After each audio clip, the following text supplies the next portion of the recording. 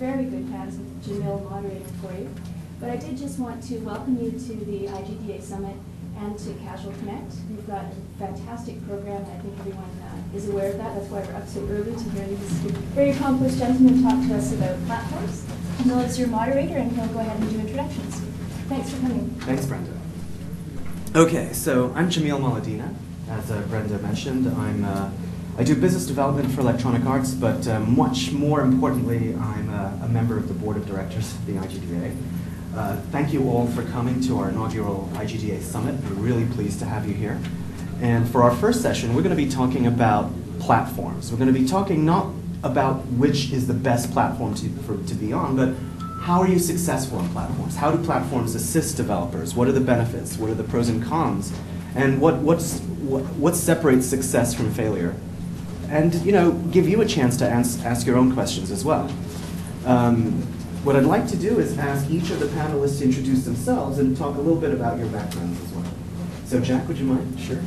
Uh, my name is Jack Buser. I'm from Sony Computer Entertainment, aka PlayStation. Uh, I've been in the games business for over a decade now, as Jamil will attest to. Yes. Quite some time.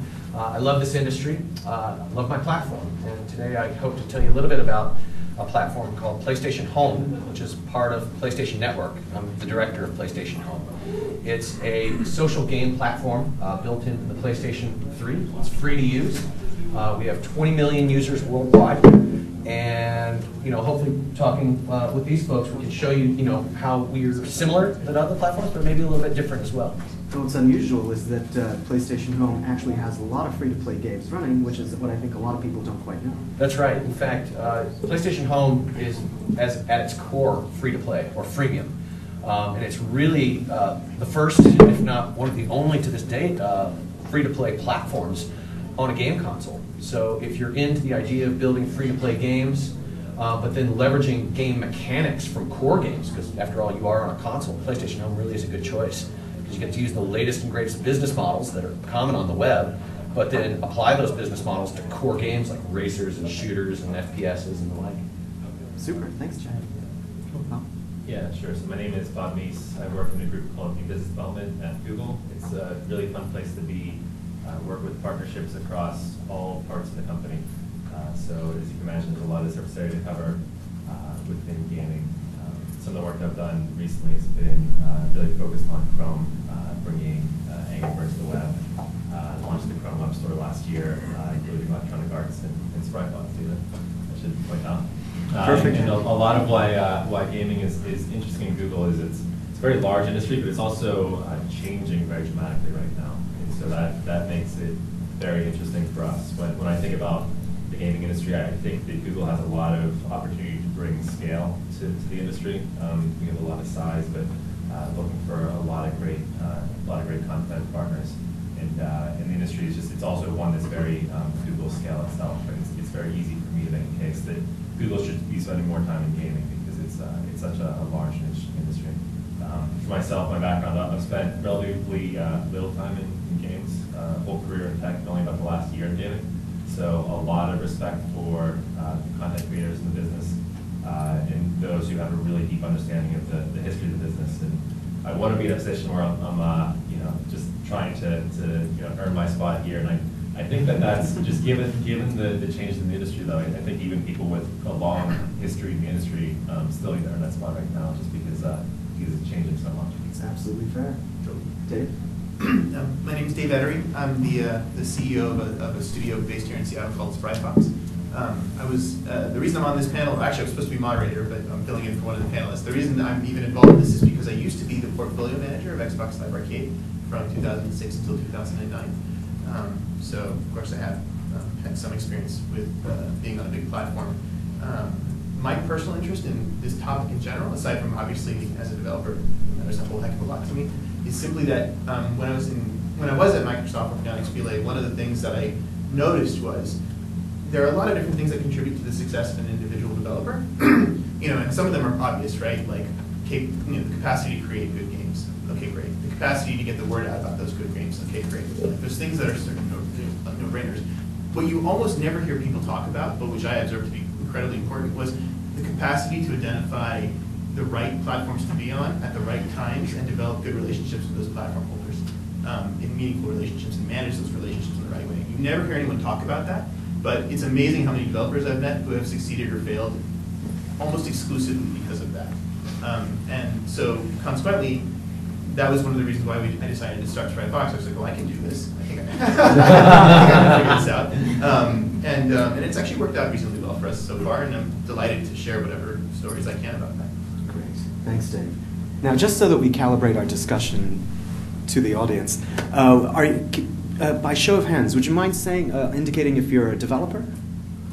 What qualifies as a developer?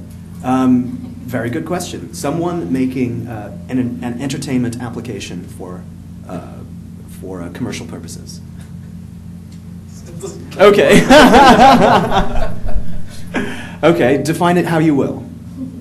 Do you consider yourself a game developer?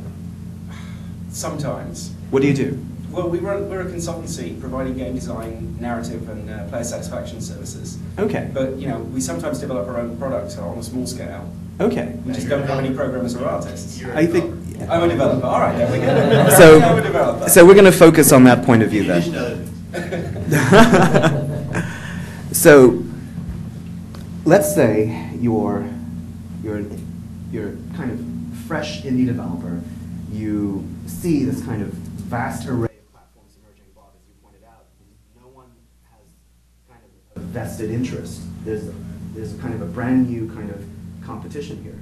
What what would you say are kind of the the ways in which to engage a platform? I mean, if, if you don't really know how to go about it, what are the first steps in doing that? The- Go, Bob. Sure. Sure, I can take it. Yeah, so I mean, that's partly how I define my role too. So I mean, there's a couple of approaches. One, it's always better to have some connection to that, that platform itself, right? So if you know anyone there, if you know the, the right people to speak you guys are, for anybody here, I'd be happy to follow up with anybody here who wants to know more about Google. Because I, I play that role right now, um, probably more than anybody else.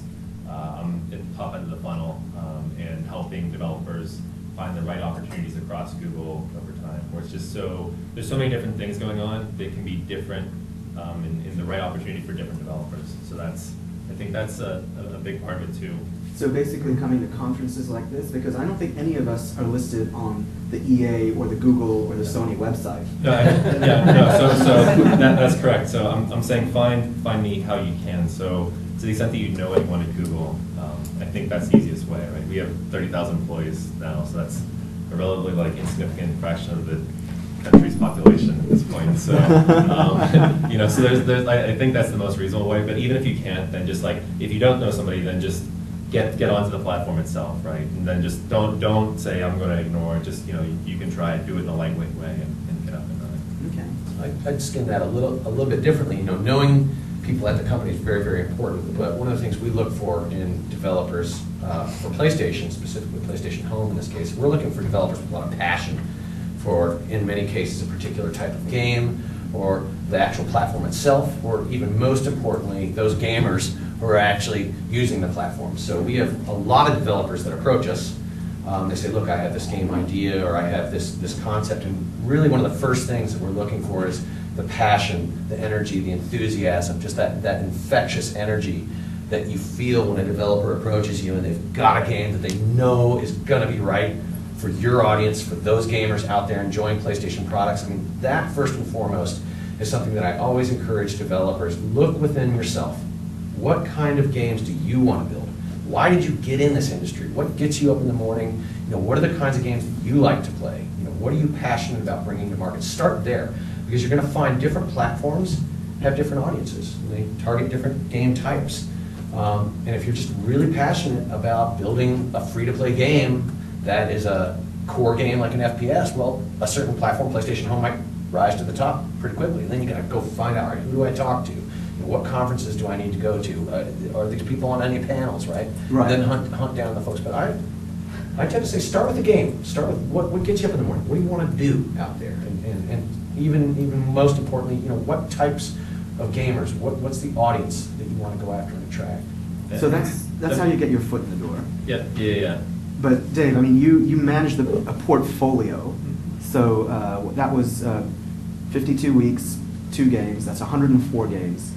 How what can a developer do to kind of a close the deal and then remain on your radar to get the love needed for their game to be promoted?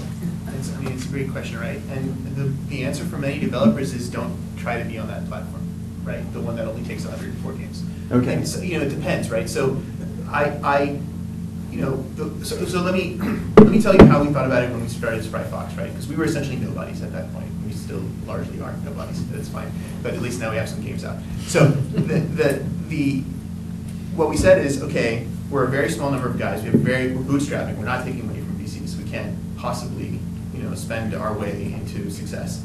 Um, what, how are we going to get something out there and make a name for ourselves? Um, we could have tried to throw ourselves at XBLA. Obviously, given my relationships, that would not have been completely insane. But again, the, the cost would have been tremendously, tremendously high, and we, we'd have one shot. And if we failed, we'd, we'd go out of business. Um, so instead, what we thought was, okay, i- is there a platform out there that's really big um, that um, that where we have a reasonable chance of making a splash, um, and yet we can go there with low cost, and on top of that, um, you know, we make something that we think isn't being done right now. And for us, the answer was, okay, well, let's just start. Well, eventually, we'll migrate to something else, but let's start with two places. We started with Flash portals because they have enormous reach. They reach hundreds of collectively, they reach hundreds of millions of players, um, and they're mostly full of crap. Right? Like, most of the content in there is not that good. And we were looking, we were like, wow, there's whole genres that have been ignored. like, whole genres, you know? Not, not, not like there's this one, ra- you know, like you look at XBLA and you can think of maybe one or two types of games that maybe are underrepresented. Like, no, like, you look at Flash portals, and despite the fact that they have thousands and thousands of games on any given portal, there will nevertheless be whole genres that go underrepresented. So we're like, okay, well, well cool, let's do that. And then also, just for fun, there's this new thing, you know, the Kindle's about to start having games. Um, they, they're, you know, it's a, they're based in Seattle. We can go just go talk to them face to face. Again, you know, again, when they first launched, it's probably gonna, there's probably not gonna be that much content in the platform. It'll be easy to stand out. It won't cost that much to make a Kindle game. I mean, there's only so much you can do on a black and white interface with a low refresh rate. Like, you know, it's, it's, you know, so you have no choice but to, you know, constrain your development budget. Um, so we said, okay, that, that's where we're gonna place our two bets to start. And then eventually, if we get big and we get notable, we might start knocking on the doors of the folks at Microsoft for Xbox Live Arcade and, you know, and so on and so forth, and the closed platforms for the bar to entry is higher. Um, So that's an interesting um, kind of strategy, is to kind of make a name for yourselves outside of the platforms, or the established walled garden platforms, shall we say, and, and then parlay that into uh, credibility, passion, data, numbers, units to present to a platform. Oh, yeah. And you see this a lot, right? I mean, if you look at, for example, um, uh, everyone talking, you know, Castle Crashers was at one point, all anyone was talking about XBLA. Obviously now there's been multiple other indie successes in, in huge ways like Trials HD and, uh, and Limbo and so on and so forth. But there was a time when all anyone was talking about was Braid and Castle Crashers. What you have to understand is that Castle Crashers didn't come out of nowhere, right? Those guys had been building a reputation on Newgrounds. There was Alien Hominid before that, right? Like they, they set themselves up to be enormous successes on XBLA. They just they weren't overnight successes. And it's very rare that something is an overnight success. I mean, it happens, don't get me wrong, but those are exceptions. They're not the rule. So, you know, more often than not, when you see a bunch of developers come together and say, like, we're going to make the next big, you know, Xbox Live Arcade slash PSN slash WiiWare hit, Yeah. more often than not, they're going to fail. And that's just the honest to God truth, right? Like, that's, that's how it works. I think there's a, there's, you point out a very interesting choice that a lot of developers have to make um, as they choose a platform, and that's, do I go with a managed platform, or do I go with a platform that's wide open? Right, and that can be a tough decision to make. There are advantages to both, right? A platform that's wide open, nobody's gonna stop you from making your games, make it, and put it out there, right? Then again, it's wide open, right? So it's the Wild West. Nobody's there to help you. Nobody's there to give you any advice, right? I mean, you, you're gonna. Yes and no. Yes and no, right? Yes and no. But to, to a large extent, you, you know, you don't have a big platform marketing department sitting there helping you out, giving you advertising inventory on the console and help push your game, maybe even, you know, in advance or some other financial support. You don't have, you know, people there literally hand holding you through the process. On a managed platform, oftentimes you do have those kind of resources, right? You have the benefit of having the platform holder there who has a vested interest in your success. They don't have, it's not a wide open platform, right? So they have these, these games that are coming out, they want to make sure as many of those games are a success as humanly possible. So it, might seem just intuitive, oh, well, yeah, you know, let's just jump on a managed platform, get this over with, right? Um, but you bring up a very good point. Oftentimes, when you do have a managed platform, such as the one that I run, PlayStation Home, um, not everybody gets in, right? I mean, that's the nature of the platform. That's the, that, that's why we're able to build these profitable ecosystems where we make money, developers make money, everybody's happy. Because not everybody gets in. We actually manage windows, right? So that, you know, when it's time for you to launch your game, you're the only game coming out that week, right? So all eyeballs on you. We push traffic. We pushed, we had a game on our platform, uh, the original Sodium. We pushed 1.6 million people through that game in six weeks in North America alone, right? Managed platforms are really good about doing that kind of stuff. But your point, it's, it's not a foregone conclusion that you're going to get in. So cutting your teeth out there in the industry, uh, having some proof of concepts out there that have done well on open platforms, or even coming from teams that have a strong track record, you can say, look, I worked on this title that shipped and did really well, you know, even on another platform, can be a, a, a very good, um, you know, thing to have on your, on your CV when you're walking and trying to get your game on a managed platform. So, so Bob, Jack, let, let's approach the, uh, the managed platform question from a slightly different angle. You each uh, run your divisions. So take us inside your weekly management meeting. What is, what is essential? What are the key uh, metrics that you're looking out for? What are the things you worry about as you build your platforms? Sure. Yeah, I mean, if only that were, were that organized at Google. But uh, one, one other point to make on the last question was that this is not just you need to know something within Google. One of the things I would point out too, it's, it's open, anybody can participate. Um, one, one thing that I've seen that's been highly correlated to success on the platform is uh, a lot of people can get a first meeting with us. Whenever we're going to that first meeting, seeing a slide um, from a, a partner, a potential partner, or just the, the conversation tends in a way that they're presenting things that feel like they're coming from us. That, that somebody is, a developer's presenting something that's like, that's, I, I could see that in a, in a Google presentation. Um, that's one of those things where it's like, yes, anybody can come and we can't service everybody equally or sometimes not very much at all. Uh, but when we, when we find those partners where um, they feel like presenting, it's like this, this could have come from Google, uh, they got our attention to, uh, to a very significant degree. Cool. So, I think for us, we're really looking for uh, developers first and foremost. Um, Oftentimes, we don't even look at the game on first glance. That You know, great, you're making a game, I get that, but who are you, right? Who's your team, right? Who do you have, what have you guys shipped before in the past? What experience do you have out there in the field? That's first and foremost. The next thing that we're looking for is we're looking for developers that are passionate and energetic about our community, about the gamers, right? About our platform, that have an understanding, they've done their homework, they know what PlayStation's good at, they know what PlayStation Home's good at, they know who our audience is, they know how to build games for gamers, right? That's really what we're looking at in those, in those first few encounters. And then we'll dig into your game, right? Because I believe, and I think this is the philosophy that's shared broadly across PlayStation, is great developers build great games, right? So we're looking for great developers first and foremost. And then we believe that if we foster that relationship, if we give those developers the resources that they need to do great things on PlayStation, that they will do great things on PlayStation. And it's a track record that we've used in our heritage of over 15 years. It's worked great. So guys, what I, I, I guess I might not have asked the question right. What I, what I want the audience to get a sense of is what are you guys afraid of? I mean, let's take a look at let's take a look at the N-Gage. You know, several developers got on board on board with that, but the platform didn't end up supporting that. That Bob, you mentioned there's all kinds of platforms now vying for developer attention. What is it that you learned from um, the failures of other platforms that you're incorporating in now? What are the things you're worried about? Sure. Yeah, so, so just, I, like I said, I'm, I'm new here, I learned so much from our partners. One, one of the, one of the more interesting presentations was just the, the history of the industry, right? So you look at Mhm. platforms, uh, going back to, you know, coin op in the arcade, right? Where you had a platform where you didn't have a personal device, you, you go, you rent it, right? Um, it moves to, you have a, a dedicated personal device, a personal gaming machine, right? You have PlayStation, Nintendos. Um, from there, you have a primary gaming machine that then takes on other capabilities. You can play a DVD, you can play a CD, you can play a Blu-ray from there. Um, from there, you have uh, a, a general purpose device. You know, you have you have the iPhone right now, which becomes that. And then from there, you have cloud gaming. Um, and that's not something that was a Google presentation. That, that was actually something that another developer was saying. This is our this is our view for the industry. Um, where N-Gage fits in there um, is as a, um, a gaming device primarily that adds other functionality to it. Mm. And I think that's a really challenging place to be. It was almost like way too late for that, right? So we're seeing um, general purpose devices, uh, and then even moving towards something where you have, you know, obviously Google is, is a very internet-enabled company, so Yeah. um, go for the, the broadest possible market. Um, we are very um, interested in, in scaling. I think in N-Gage in particular, it's like you're, you're looking at such a, a very focused uh, group of people when you have something like that. You're looking at only people who very clearly identify, self-identify as, as gamers.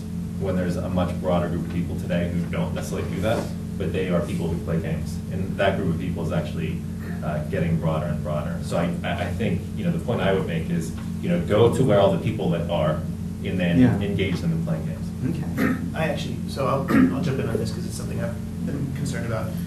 The, excuse me, the, it, it can, you know, obviously, again, there's so many different platforms out there, how do you choose between them? One of, the- there's a set of things that we look for, right? Just we, we, we meeting Spry Fox.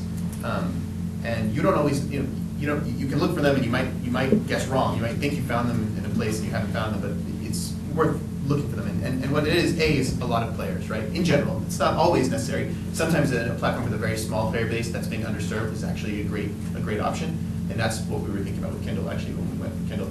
But, but in general, with some very important rare exceptions, you're, you know, you want a nice big player base that you can serve. You want uh, a platform company that, the- a platform operator that has demonstrated um, a very, very real interest in supporting the developers on the platform, right? And everyone says they have that interest, but there's a massive gap between the people who actually do and the people who say they do.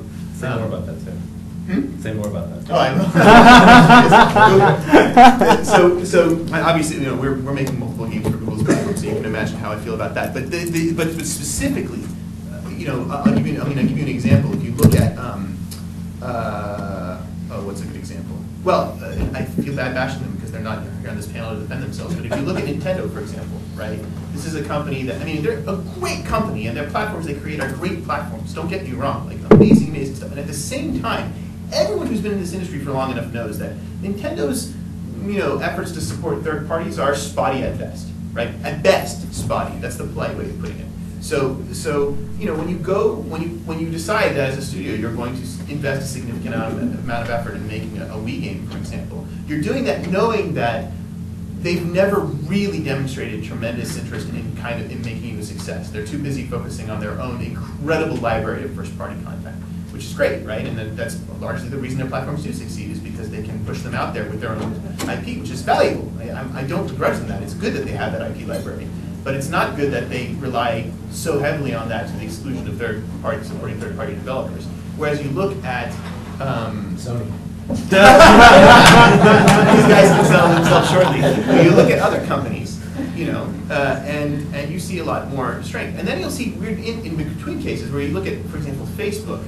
And I have very mixed feelings about that company, right? Because on one hand, there's no question that they've created an ecosystem that's, you know, that gives a lot of opportunity to developers. And on the other hand, they have no problem, no problem whatsoever, just dramatically changing their policies on a moment's notice in a way that causes every developer to scramble, right? Or if they think that a developer is doing something harmful, doing something that threatens to, I mean, I don't know if you guys remember the whole uh, uh, thing where they literally were just like, oh, you're violating our terms of service. Guess what? All your games except for one are being shut down. And I guess the company should be very grateful that they didn't shut, you know, shut down Ravenwood Fair, right? Which is the one, the biggest one of all. So it can essentially kill the company. But it was basically like shooting them in both arms and both legs and being like, feel glad that we didn't shoot you in the head. Too. You know what I mean? Like, So Dave, I mean, that raises the question. I mean, what should a developer do? How should they feel? How should they respond when a platform changes the rules midstream? Like Amazon. did yeah, with- great question. do you, Well, they, so they didn't change them midstream. They started with bad rules. Right, Um, right, right. That's very clear. The, the, so there's two things. So first of all, there's just like, if a platform has rules that you feel are, are um, not developer friendly, should you embrace that platform? And, it- you know, the answer is going to vary from developer to developer, obviously, right? But like, my perspective on it is very simple. There are tons of good platforms out there. If someone has crappy terms, go somewhere else. Really, I mean, there's just no reason not to. So there's a mm. greater sense of competition now. I mean, back Oh, in the yeah. bad old days, you had three choices. Right, you have a lot of choices now. There's just no reason, and, and good choices too, right? It's not like there's like one or two really good ones and everyone else is mediocre. No, like the Flash Portal, the Flash Portal ecosystem, hundreds of millions of players. You know the the you know the, all the consoles, lots and lots of players. You know Android market and iTunes, millions and millions and millions. Like you know what I mean? And go on and on and on and on. And also obviously all the other new platforms that are launching. You know from th- these respective parties. So anyway, if you don't like someone's terms, you should go somewhere else. That said, if you're working on a platform that had good terms and then they suddenly switch them on you, which does happen, um, actually, you know, Xbox Live Arcade is infamous for having had, at one point halved its rev share for indies. This was like four years ago or something like that, I think, you know. You know, now every indie who had been investing, you know, for multiple years at that point in the platform was like, oh my god, you just destroyed my business. And you didn't ask my opinion on it, you just did it. Um, so, you know, in those situations, there's a couple of things that the, you know, as an individual indie, if it really is this case where the, where the change is egregious, well, I mean, you have to seriously consider migrating. You may not have a choice though. You may be so invested in that platform that you may feel somewhat stuck. And that's just a tough situation. I don't honestly know what you do in that situation aside from yell and scream a lot.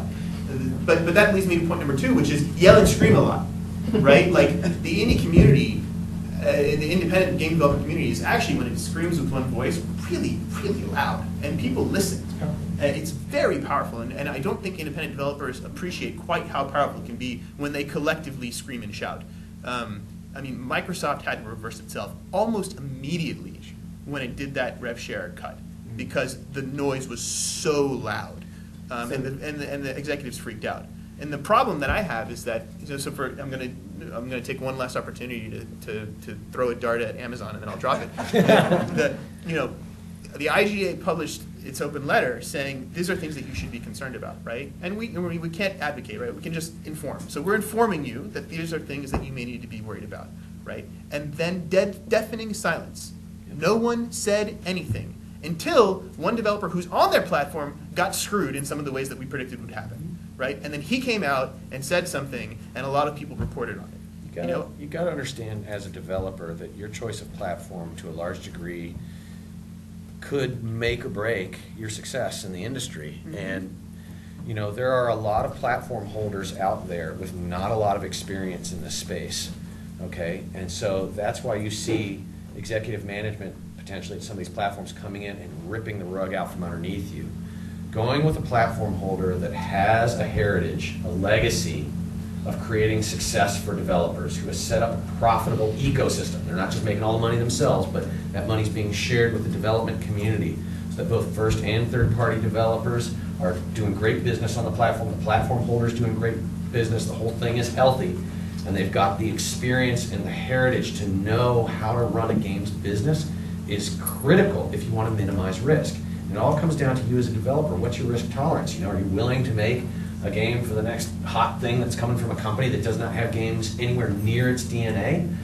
Or do you want to make games for a company that has a proven track record of success for developers and themselves, and then the market's really healthy? You know, for me, where I said I'm very biased, I think the choice is pretty easy. Sometimes those healthy platforms with the heritage, they can be they can be, you know, they're not totally open, so you can't just go and make a game for them. But if you can get in, you know, you can you, you can just look around you. You're in good company in terms of the development community on those platforms. Yeah, I mean, so differently how, how I think the opportunity is, I, I think Jack makes great points in terms of, you know, games being in, in the DNA of companies. That Google is clearly not. Um, I think the bet on us is on growth. Um, I think it's less about, you know, the DNA of the company. I think the growth rates are, are very, very different across them as well, too. So I think, uh, for developers who are willing to, as I said, the industry is changing. Yes. For somebody who's willing to change with that, um, to take advantage of growth, um, that's, that's where, very simplistically, um, how we're focusing the opportunity. So our discussion is kind of hinging around the threshold question of positioning ourselves to be in an equitable relationship with the potential of being successful. Let's take a look at a couple of undeniable success stories that have nothing to do with our platform. So let, let's let's let's.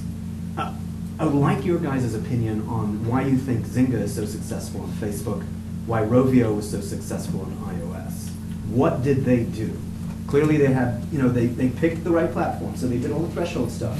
But a lot of people do that. What accelerated them? What did they do? I mean, I'll start with knowing your audience, right? You gotta know your audience. That's why, you know, we're looking for developers that know our audience, right? You gotta say, okay, who are these gamers? What kinds of games do they wanna play? What kinds of experiences can I build for those gamers? Are those the kinds of experiences that I'm passionate about? I think in the case of some of these examples you're giving, absolutely. I mean, they nailed it, right? They knew exactly how to build a game for that audience, and that was their core competency. That's what they were passionate about. A lot of these developers, you give examples of successful developers, they try time and time and time again, creating games that maybe nobody's even heard of until all of a sudden, boom, They just hit the nail on the head. Why? Because they have that motivation, that passion, that drive, that energy to do what they know is right again and again and again, and then inevitably meet with success. And that's why, that's one of the first things we look for in a developer, somebody that truly believes in the games that they're building and truly believes in the audience, knows the audience. Bob, what about you? I I think there's differences between, it's interesting to point out those two in particular. I think there's differences between them. I think there's some similarities too. The differences are, uh, in the case of Rovio, it's really just been Angry Birds, right? So it- it's, it's a well-known story that that was their fifty-some game. And so there's just a little bit of a magic in the bottle there. In the case of Zynga, just, they have this position right now. They were early on the Facebook platform. Uh, just because of the viral nature of the platform and the way that it's been curtailed recently, it's, it just, they are in a, a very favorable position on that platform. The, the thing that's common between uh, both of those developers, though, that I point out, is they actually um, are very, very quick. So of all the developers I've worked with, they actually um, get stuff done Mm, fast. mhm. Uh, And so, it- it- which is really interesting right now, because it's no longer the case that, um, that you develop a game and then you're done, right? Because now you're actually never done. And so, I think, in, in general, I think all developers should be um, challenging themselves to be increasing their cadence, which is not to say that like every single thing you, you do needs to be done in a week or whatever, right? There can be parts of the cycle worth, that are quite long, but just given that when you ship, you're not done, that even then you need to be iterating, bug fixing, adding new content. Uh, I think that uh, just one of the key lessons with, you know, specifically calling out those two is just the, you know, speed is, is really important. Okay. It's true. That's a great point. It's true. I'll actually emphasize that just because it's been, it's been something that we've focused on so heavily. Like, I, I, I'm always sad when I see a developer investing everything they have for multiple years in a single title. Because sometimes that results in really amazing content, right? Like Limbo is actually a good example. I think they say that they worked on that for six years, and that's a beautiful game, and I'm glad it was made. Um, but but that like that, those are the rare instances that everyone focuses on and, and up and, know, kind of like holds up as like wow look at this wonderful example of you know oh they worked so hard and it was rewarded and isn't this great and everyone else fails and we don't talk about that right like so it's really bad to put all your eggs in one basket and it's really bad actually to spend six years working on one game I mean it's great that some people are out there willing to do it I would be terrified to be one of those people right I, I- like our goal is like let's make a ton of games as quickly as we can. We want them to be good. We have an internal threshold, like a quality bar, that we won't release a game before our internal playtests show that it meets met that threshold. But once it does, it's out, like out, out, out, get out the door. See if people like it. And once they like it, okay, great. They like it. Let's keep working on it. Um, so that kind of speed and that kind of uh, portfolio style of development is, I think, pretty crucial. And there's no question that Zynga, so Zynga for sure practices it, right? Like they had, they actually have a, they're they're they're much harder core than we are. I mean, they're basically like we make a game, we put it out there, it's got a very limited time to prove itself, and if it doesn't, it's dead. On to the next thing. You know, they're very hardcore about it. Um, um, I don't know as much about the Rovio guys. Um, but uh, for sure Zynga does that. Obviously, there's other things they do as well, right? I mean, one of the reasons Zynga is what Zynga is is because they've mastered the art of cross-promoting their games, right? So they take all their people from this game and they shove them into this game, and this game becomes an instant success. It's great that they can do that. Um, they didn't start off being able to do that, but um, they, they acquired the ability to do that over time. Um, there's lots of other things that make these studios successful as well. But, um, but many of those things, like the cross-promotion, is something that won't benefit someone in this room if you're not already huge, right? So, so prepare yourself to do that once you become huge, but the effort, you know, the, the, the road to huge is, is basically try to make a hit. And making a hit is really hard. So make a lot of games mm-hmm. and put them out there as quickly as you can. You know what I mean? Because in a hit-driven business where 9 out of 10 things are going to fail or 99 out of 100 things are going to fail, you can't afford to work on the same thing for six years. That's suicide. Think But then is Jack going to pick you up if you've got 50 failures and only one of them is a hit? No, I So that's the point. No. Jack won't care because one of them's a hit. Yeah. Yeah. True. Um, Fair point. Um, One of the things that, that doesn't get talked a lot about, I'd like to join in uh, with you guys, because this is something that we tell our development community time and time again. You know, you, you- you talk to developers and you say, look, you need to make sure that you iterate on your game after you launch in PlayStation Home, because that's part parcel of the experience in home. It's different than the traditional games business where you ship the disc, and maybe you do a map pack, maybe you do some bug fixing. This is a totally different paradigm. We have over 30 developers right now working on our platform. And some of those developers actually come from the more traditional disc-based uh, game industry, right? And this, and they're, they're learning this new idea of iterating. And it's gonna, it's gonna sound boring, but this is really, really important. It comes down to how you budget for your title. Because oftentimes developers have the best of intentions to iterate on their game after launch and they run out of money. Okay? And it sounds really boring to talk about this stuff and whatever, but look, trust me, if you're in one, if you're on one of the platforms where iteration after launch is key to your success, make sure you save some money. Because you still gotta keep the lights on, you still gotta pay your employees, you still gotta make sure that there's, you're ready for a scenario whereby you put a game out and it's not generating revenues that you want it to generate on day one. You need to make sure you can still stay afloat to be able to iterate on that game to get it to where you know it can be. One of the huge advantages of these platforms like home or the web is that you can iterate. You can watch the data come in, you can watch consumer sentiment, you can watch the metrics. You can say, okay, I need to change this game and alter course, I need to cut that part of the game and bolt on this new part of the game. You can do all that stuff, but if you run out of money, you can't. And so that's a really, really important message that we tell our, our development community, just helping them budget, because at the end of the day, I think a lot of developers have the best intentions, but they just don't have the financial resources to make it happen. So true. Yeah. Yeah. So two more questions, and then you guys start thinking about what you want to ask. So one thing that kind of bothers me a little bit is that for for the TV and film industry, there's this kind of ubiquitous Netflix app. There's Hulu Plus. There's all of these cool ways for people to get the content they want, no matter what platform it is, no matter what device they have on them. What's up, guys? I mean, why is it that the game industry can't get the same kind of level of ubiquity for attaching to the person instead of focusing on your walled gardens? I mean, do you guys think that that's a valuable thing to achieve for us as an industry? I think it's great. I mean, we're, we're pushing the web as a platform, so we're, we're really not there yet. Um, so it, it's great to, to want that, right? And then Google would very much like to, to realize that vision. Um, and I think that the, the web is the platform that has some credible chance of at least being the underlying platform for that. And then you're talking about either, you know, save sta- sessions, save states. Um, there's some account or credentials tied to that as well too. Um, so it's, uh, you know, it's something that we would love to see happen. Um, as I mentioned before, uh, it's, there is no games division at Google, right? It's, it's, um, it's a place where we're making the most progress by being across the company, uh, being in Chrome, uh, being on TV, being on Android, being in, in commerce, being various different places within, within the company.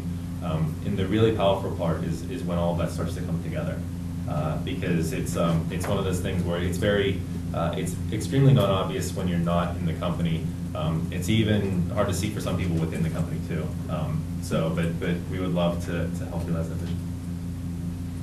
Jack Yeah, no, listen, I, Noted. I, I love the, the opportunity for us at Sony to be able to just entertain the world with games. I mean, obviously, you know, we've been very successful with our platforms over the years. You know, we're three generations deep into our home consoles, uh, portable platforms, PlayStation Portable, bring up things like Xperia Play, you know, getting games to the audience and getting the right technology into the platform to be able to provide the experiences that we know our audience wants. That's, that's what we're about. And so, you know, when you're talking about an install base of, you know, 50 million PS3s, you know, 77 million PSN accounts, I mean, it's a lot of people, right? And those numbers are growing by leaps and bounds. So, so this idea of entertaining the world, getting our games out there, getting them ubiquitous, absolutely. And we've got a proven track record of doing it. We've had, we did it with PS2, right? So, Well, let's, let's, let's put all the panelists' expertise on, on the uh, hot seat a little bit. Um, One of the things, so we've talked about how platforms are merging, the world is changing rapidly. What do you guys see the platform landscape looking like in the next couple of years, say two to five years out? And if you could phrase your answer without using your company's name or product.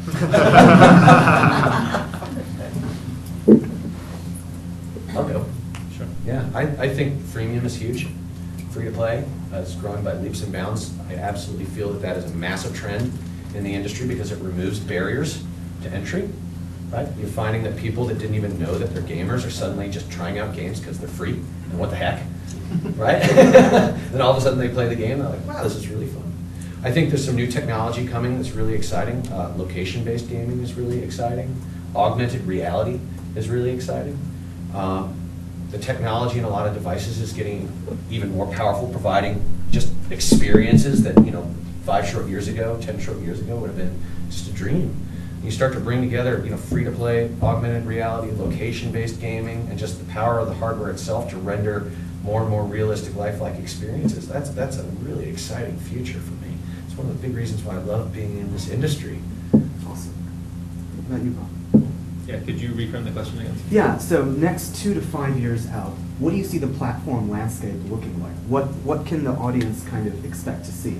Yeah, so, so as I said, you know, we, we would love to see the web as more of a platform. I think that it's, the environment is richest whenever you have multiple strong platforms, right? So I, I think we should all expect to see that. I think that it gets, um, that it's challenging whenever, whenever you, you don't have that, right? Whenever you have a single platform that becomes too powerful because it's just, the industry is not in equilibrium at that point. Developers get, you know, rely, you know, just very uh, understandably upset with, with those situations. And so I think that for developers, you should, you shouldn't necessarily focus on one, right? You should, you should, you should focus on a couple, because if everyone focused on one, that's just a, not a fantastic outcome. Um, and it really is, it's like, you should focus on those platforms where your return on those platforms is, you know, better than your, the, the cost of supporting them, right? So I, I would hope that, uh, the developers are supporting a variety of platforms. There, there are benefits, uh, you know, there's no one platform that's strongest in all regards, right? And so even across Google, we have a variety of platforms. You could even treat Google as several separate gaming companies right now, or gaming platforms. And I, I think all of them are, um, even if they're not perfectly harmonized today, um, I think that it's even worthwhile supporting multiple different of the Google platforms um, within gaming. So basically, um, you know, more towards the web is the general trend. And then I, I hope we have an environment where there are multiple um, thriving uh, platforms. And, I, and actually, I'm going to emphasize what um, Jack said because I agree with it so strongly. I think I think there's going to be a, a for some platforms the transition has already occurred, and so for them it's very easy. So for some platforms it's going to be a torturous process. But um, the, this, this transition to free, you know, more free to play games is going to be really, really, really dramatic. I mean, it's already quite dramatic, right? But it's going to become it's going to become this overwhelming wave. Um, it, as, as multiple books, uh, popular you know nonfiction books have at this point proclaimed, it's, it's very hard to compete with free, right? There's something there's something deeply ingrained in us as human beings that makes us appreciate free things more than we should, uh, and uh, and makes them obviously more accessible and so on and so forth. So so you know when you have what is inevitably going to be a very hot, you know, very large wave of high quality content in addition to not quality content, you know, that is free to play everyone is going to be forced to react to that. And when you look at a platform like Xbox Live, for example, uh, and the Xbox in general, for example, um, that's a really, really big problem for them, right? Because they've been using the same business model for a very long time, which is you give me a very large sum of money, whether that's 15 bucks on Xbox Live Arcade or 60 bucks in retail, and you know, which relative to 99 cents or free is quite a lot of money, right? Uh, you give me a lot of money, and I give you a big chunk of content, which maybe you consume fully, maybe you don't. Um, that that um, that's what they've done for a long time. That's what they know how to do, um, and that's what their publishers like. Everyone, it's safe. Everyone gets it right.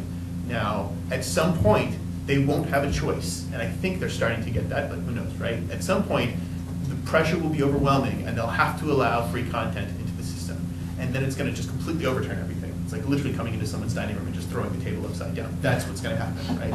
And it's actually quite you know, I have to, I'm gonna give you props, like, it's quite promising to hear, like, an official representative of Sony sitting here saying, like, yeah, that's a big deal, right? I, they seem to be, of the three major console companies, the only one that is like, okay, this may be really scary, but we're gonna have to deal with this, let's start talking about it, right? The others, they're just like, content shouldn't be cheap, content shouldn't be free, oh, I'm so, I feel so bad.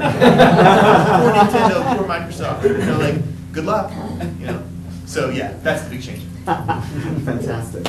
Okay, guys, we've thrown out a bunch of ideas at you. Um, do you guys have any thoughts or questions? Yes, go ahead. Yeah, Jack. Um, before my question, uh, I actually have a product uh, being developed for PlayStation Home at the moment. Uh, it's been a very strange platform to develop for because it's got incredible technical capabilities on one hand, but incredible technical limitations on the other. I mean, the limitations aren't Sony's fault; they're the nature of working in these sort of online uh, situations where there are limits for bandwidth uh, and data latency.